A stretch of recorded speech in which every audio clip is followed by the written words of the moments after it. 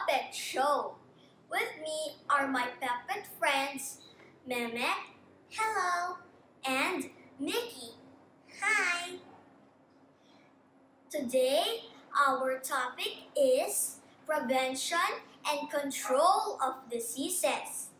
On Saturday morning, Mickey was playing ball and toy cars. He has been outside for quite a long time and was dirty and sweaty. Memet, his sister, approached him. Hi, Ate Memet. Hello, Mickey. I see you're dirty now from playing. You better go home and take a bath. But Ate, I don't want to take a bath. I feel lazy. Mickey, it is important take a bath every day to keep your body clean and fresh. It prevents the spread of germs and viruses that can cause disease like scabies. Oh well, okay, I understand, Ate. Thank you for reminding me. Let's go. During lunchtime,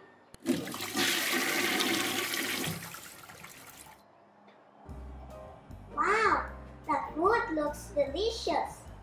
I want to eat. Ops, ops, ops.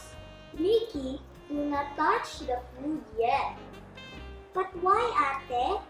I'm so hungry. Please let me eat. I saw you coming out of the toilet. Before touching the food, you should wash your hands first. Oh yes, I remember Teacher Desi telling us to wash our hands with soap and water for at least 20 seconds. Very good, Nikki. That is another way of controlling diseases like amoebiasis. Mommy also cleans our toilet and bathroom regularly to prevent bacteria from spreading. She gave us individual towels and comb to avoid pediculosis. Okay, Ate, let's eat now. These are nutritious food like egg, fish, fruits, and vegetables to keep our body strong. Teacher Desi also told us not to eat spoiled food nor drink contaminated water because it will make us sick with amoebiasis and other intestinal diseases.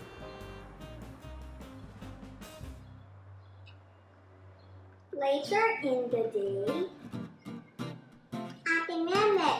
noticed that our house is so disorganized.